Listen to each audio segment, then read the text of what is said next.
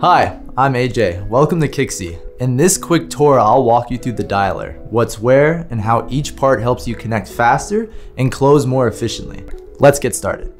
When you first log in, you will see multiple tabs at the very bottom of your Kixie Power Call. The first one on the left-hand side is going to be your directory. This is where you'll be able to see all of the agents that you have on your account, as well as any queues that you may have created.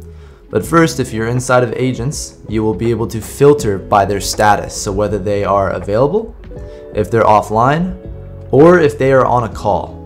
If somebody is on a call, it'll be a green icon next to their name in which if you are a manager that has call coaching access, you will actually be able to call coach.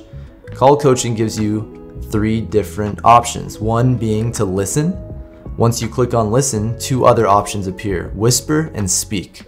Whispering is being able to speak with your agent without the prospect hearing. And then the speak option is being able to just barge in and make it a three-way conversation. We also have the ability to call transfer, so we do have cold and warm transferring available. The second tab from the left is your call history. This is just a convenient spot that you could find your personal call history, incoming and outgoing calls. So you can see here, you will have the options to go back and listen to your call recording. You could redial that contact. You could download the call. You could send a text or I can click on the CRM profile, which will bring me right to their contact in my CRM if I am integrated. The third tab from the left is your voicemail inbox. Just like your cell phone, if someone gives you a call and you're unavailable, they could leave a voicemail. You'll get a transcription of that voicemail. You could listen you could redial, delete, you can text, and you could also view the contact. I could also go to SMS history again, just like your cell phone. Someone texts you, all you'll be able to see all incoming and outgoing text messages in here. So I can go and scroll through, I can click into a thread and see all incoming and outgoing text between me and the contact. And then the second to last tab at the bottom here, I can click on and I will be able to send a text message. I can create SMS templates in which I would do that within my Kixie dashboard where we will have videos showing you how to do that as well. But you create those and I could select easily which one I want to use. And then Kixie also has the ability to send and receive pictures. So you always select an attachment here. The last tab on the right hand side is your power dialer. So I click into this. This is where you'll have all your power lists or calling lists, lead lists, however you want to say. So I upload my list into my Kixie dashboard, which will have videos showing you how to do that as well. But then they will all show in your power dialer here.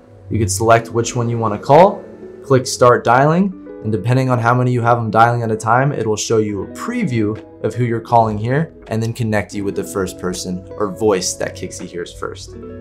We also have AI Human Detect. That is an add-on to our multi-line power dialer.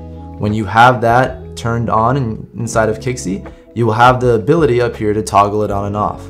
When you toggle this on, Kixie will automatically start calling through your list, bypassing any voicemails or machines that it may encounter, so that the majority of the time, you're only connecting with a real human person that picks up the phone. And lastly, let's go over your settings. So at the very top right, you'll see three horizontal lines. You click on that, and then you'll click on the gear icon, which is the first one. That's your settings tab. So I click there, and there's a couple important features you'll want to see in here. The first one being connection boost. Connection boost is also an add-on. When you have connection boost, you'll have the ability to toggle this on and off.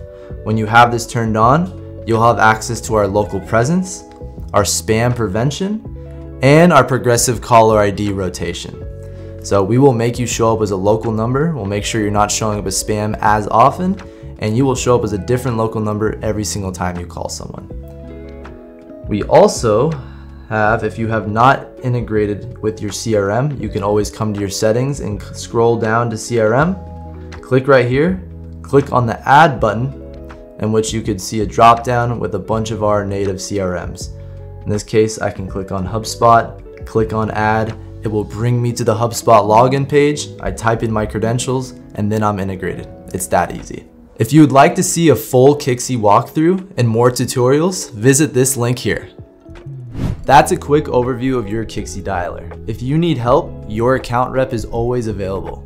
Thanks for choosing Kixie to power your sales conversations, and happy dialing.